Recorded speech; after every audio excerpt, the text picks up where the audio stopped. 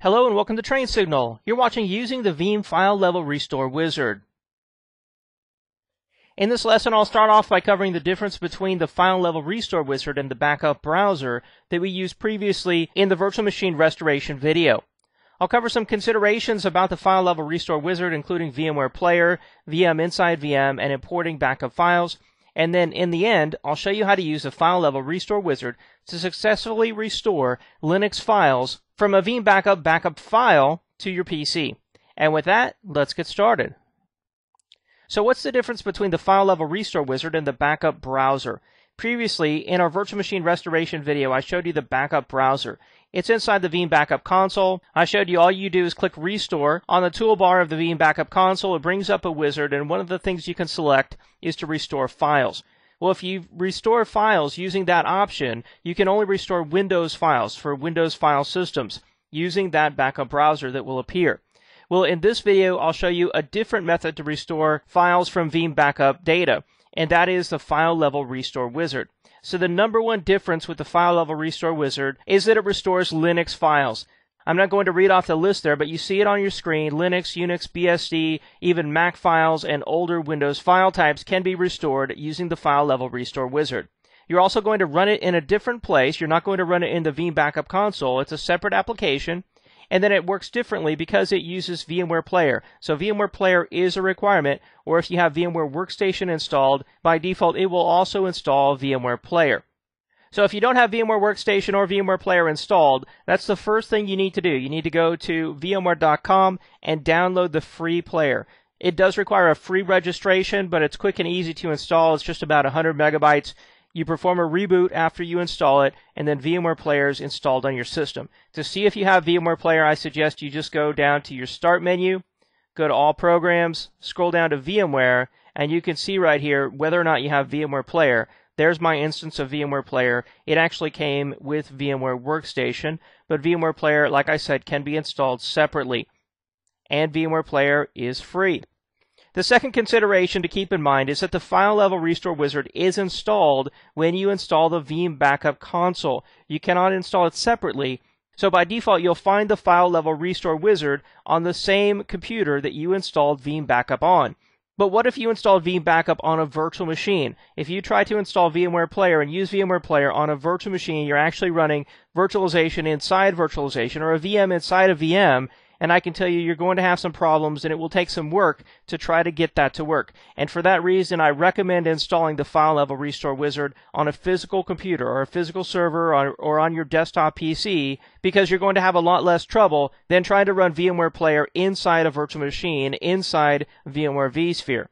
And I can tell you that's exactly what I did. I've got VMware Player on my local computer here where I run VMware Workstation.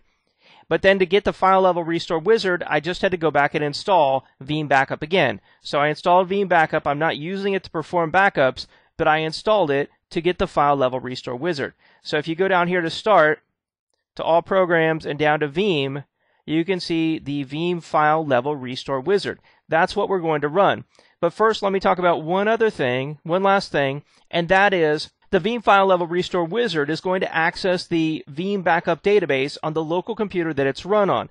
So if you just installed Veeam backup on your physical computer to get the file level restore wizard, just like I did, you're not going to have any backup files found by the file level restore wizard that you can restore.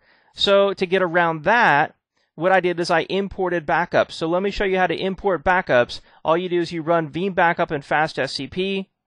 And by the way, you should run it as administrator or you're going to get this kind of prompt, this UAC prompt in Windows 7. If you're using Windows 7, I'll say yes there. This brings up my Veeam backup console. I'll maximize this. You can see I don't have any jobs here. I'm not using this to perform backups, but I do have some backups. So how did I get these backups in? Well, I went up here and I imported the backups with this button right here. I clicked import backups.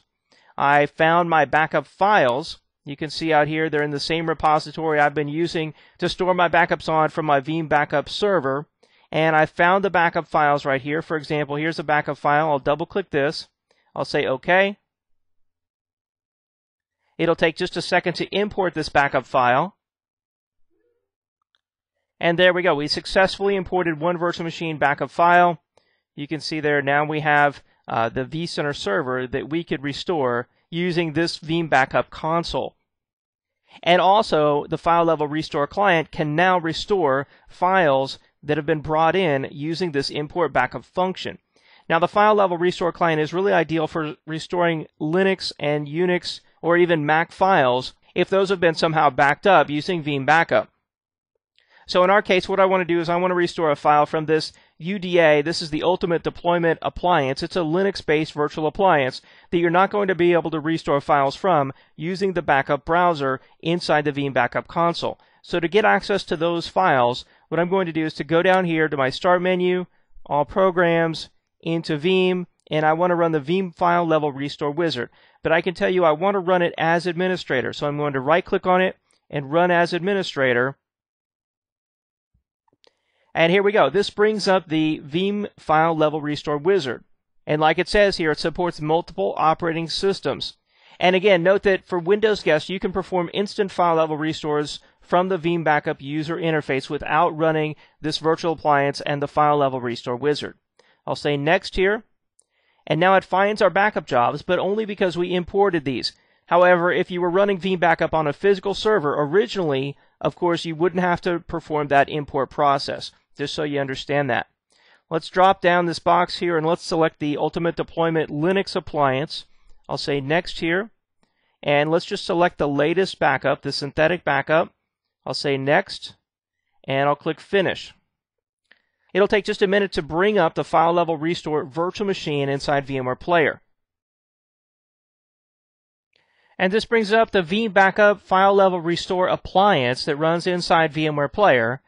And there we go. A second later, the file level restore client pops up. So this is the client that we'll use to actually restore the files from this Linux-based virtual machine. So if we expand out the LVM, this is the logical volume manager here. These are the different volumes from the Linux virtual machine that were backed up. We can see all the files and folders that were underneath here. For example, let's go in and let's restore a file inside the var folder and then inside logs let's actually restore the messages folder onto our local Windows system so that we could take a look at this and potentially we could put it back on the server if we want to. But in the case of messages, likely you just want to take a look. So all you need to do is right click on it and click copy to and then select the path or destination for the file. I'll click browse here and I'll just put it on my desktop. Say OK. And there we go. So what this live CD, this virtual appliance did that's running inside VMware Player is it mounted the Veeam backup files, the actual VMDK from the Veeam backup, it mounted those on this Linux virtual appliance so that you can gain access to those files and then restore them onto your Windows system so that you can then put them back into Linux if you need to. Now you can also access these Linux files down here in this little command line but personally, I think that the GUI client over here on the right is much easier to use. So with that, let's go to our desktop and take a look at this file. Here on my desktop, I've got the messages file. Let's just double click on that. I'm going to go down here and let's open it up with WordPad. And this is it. This is the messages file from the Linux virtual machine. Here we can examine what's been going on on this Linux virtual appliance if we need to. And if this were some important database, we could put this file back on the virtual machine. Alright, so that's the Veeam file level restore wizard. As you can see, it's real quick and easy to use, but there's some particular things that you need to know about it. The number one thing was that it's different from the backup browser because it can restore Linux-based files. You also need to know that you can run it anywhere that you've installed the Veeam backup console because it's part of that installation, but it's a separate application. And it requires VMware Player. Now, you might already have VMware Player if you installed VMware Workstation. Otherwise, you need to go to VMware.com, register and download it, and install it for free. You also need to know that the Veeam File Level Restore Wizard, because it uses VMware Player, isn't going to work very well inside a virtual machine. Very likely, you'll need to run it on a physical system. So what that does is that brings us to the end of this video covering the Veeam File Level Restore Wizard we learned the differences between the file level restore wizard and the backup browser. Backup browser only does Windows files. We covered the considerations. You must have VMware Player. It's very difficult to run VMware Player inside an ESX virtual machine. So it's much easier to just run VMware Player in the file level restore wizard on a physical server. But if you install the Veeam Backup console on a different physical server, you'll need to import those backup files, like I showed you how to do in this video.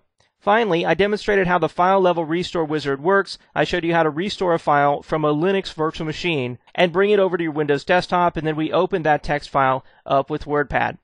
Thanks for watching this video covering using the Veeam file level restore wizard.